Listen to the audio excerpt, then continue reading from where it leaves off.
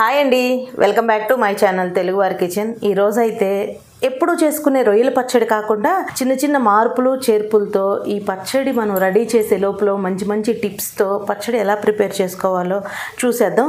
మీకు ఇంకొక విషయం ముందుగా చెప్పాలి ఏంటంటే రొయ్యలు క్లీన్ చేసుకునేటప్పుడు మజ్జిగ వేసి క్లీన్ చేసుకుంటే మనకి నీచు వాసన అనేది రాకుండా ఉంటుంది. పాతకాలంలో చేపల్ని చక్కగా మజ్జిగ ఉప్పు వేసి మాత్రమే కడిగేవాళ్ళు. అప్పుడు వెనిగరు లెమన్ వేసి అయితే కడగలేదు. ఇప్పుడు కొత్త కొత్త రకాలు వచ్చేసినాయి కాబట్టి అన్నీ యూజ్ చేసేస్తున్నాము.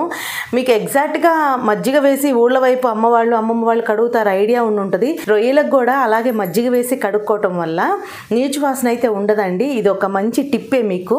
మీకు ఎవరికైనా ఈ టిప్ తెలిసి ఉంటే కామెంట్ సెక్షన్లో కామెంట్ చేయండి నాకు. ఇప్పుడైతే రెసిపీ స్టార్ట్ చేసేద్దాం. మనం ఇలా ఒక కడాయిలో రొయ్యలను వేసుకొని ఒక హాఫ్ టీ స్పూన్ పసుపు వేసుకుందాము. పసుపు వేసుకొని ఇందులో ఉన్న వాటర్ అంతా మనకి రిలీజ్ అయ్యి డ్రై అయ్యే వరకు ఫ్రై చేసుకోవాలి. మూత ఏం పెట్టాల్సిన అవసరం లేదండి. మధ్య మధ్యలో కలుపుకుంటూ డ్రై చేసుకో వాటర్ అంతా రిలీజ్ అయిన తర్వాత డ్రై అయ్యే వరకు రోస్ట్ చేసుకోవాలి మనం ఇవి. మనకి పచ్చడికి అనేటప్పటికి చిన్న రొయ్యలైతే చట్నీకి చాలా బాగుంటుందండి. ఇక్కడ మీరు ఒక విషయం గమనించాలండి.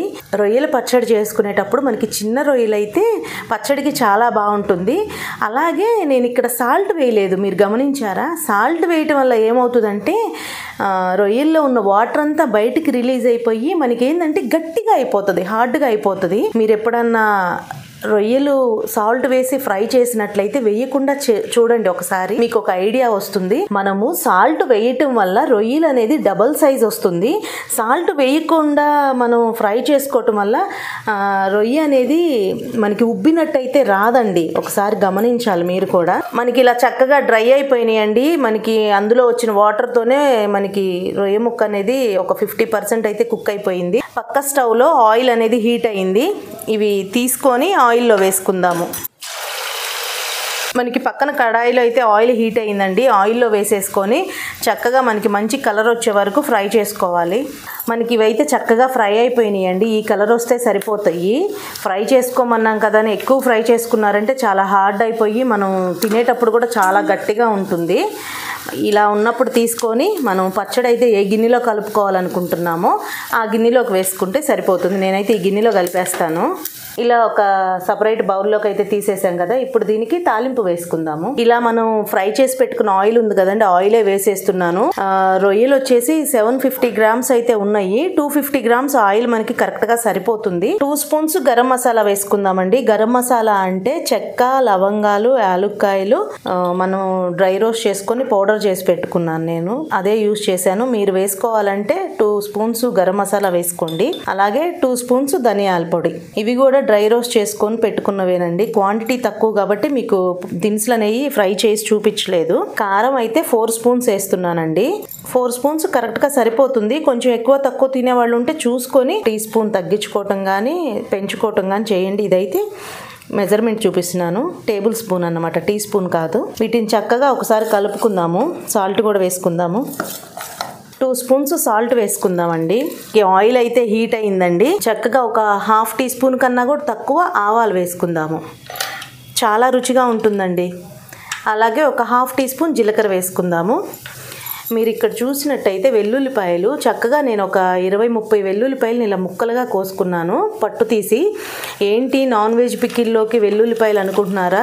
రుచి అయితే చాలా బాగుంటుంది. ఇలా మనకి వెల్లుల్లిపాయలు ఫ్రై అయిపోయిన తర్వాత చక్కగా ఒక ఐదారు పచ్చిమిరపకాయలను తుంచుకొని ఒక ఎండుమిరపకాయను కూడా తుంచుకొని చక్కగా ఫ్రై చేసుకుందాము.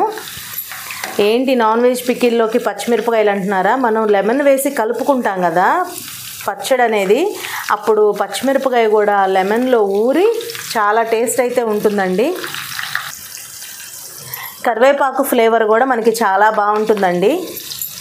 అల్లం వెల్లుల్లిపై పేస్ట్ కూడా ఒక త్రీ స్పూన్స్ వేసుకోవాలి. అంటే మినిమం మనకి వన్ ఫిఫ్టీ గ్రామ్స్ ఉండేలాగా వేసుకోవాలి.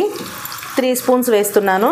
చక్కగా మనకి ఇది మంచి రెడ్ కలర్ వచ్చే వరకు అల్లం వెల్లుల్లి పేస్ట్ పచ్చివాసన పోయే వరకు ఫ్రై చేసుకోవాలి. మనకి ఈ అల్లం వెల్లుల్లి పేస్ట్ కూడా చక్కగా ఫ్రై అయిపోయి కొంచెం మంచి కలర్ అయితే వచ్చిందండి. ఇప్పుడు స్టవ్ ఆఫ్ చేసుకొని చట్నీలో వేసేసుకుందాం.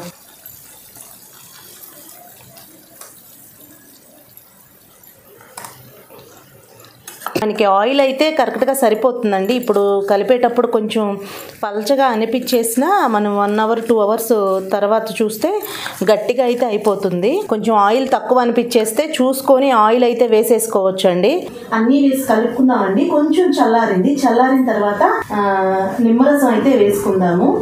నేనైతే మీడియం సైజువి నాలుగు నిమ్మకాయలు తీసుకున్నాను. కొంచెం పులుపు తినే వాళ్ళు ఉంటే కొంచెం ఎక్కువ వేసుకోండి. లేదంటే పచ్చడి నిలువ ఉండాలంటే ఉప్పు కారం పులుపు అనేది కరెక్ట్గా కుదిరితేనే మనకి కరెక్ట్గా సరిపోతేనే పచ్చడి అనేది నిలువ ఉంటుందండి. ఇలాగే ఉంచి ఒక రోజంతా ఆయిల్ సరిపోయిందా లేదా చెక్ చేసుకొని నెక్స్ట్ డే మనకి గాజు సీసాలో కనుక స్టోర్ చేసుకున్నామంటే మనకి త్రీ మంత్స్ అయితే నిల్వ ఉంటుందండి. చూసారు కదండి ఎలా చేసుకున్నాము? రొయ్యల పచ్చడి కొంచెం డిఫరెంట్గా కూడా ప్రిపేర్ చేసుకున్నాం కదా నచ్చిందా మీకు? నచ్చితే మీరు కూడా తప్పకుండా ఇలాగే ట్రై చేయండి. మీకు ఎలా వచ్చిందో మీ ఫీడ్బ్యాక్ నా కామెంట్ రూపంలో తెలియపరచండి.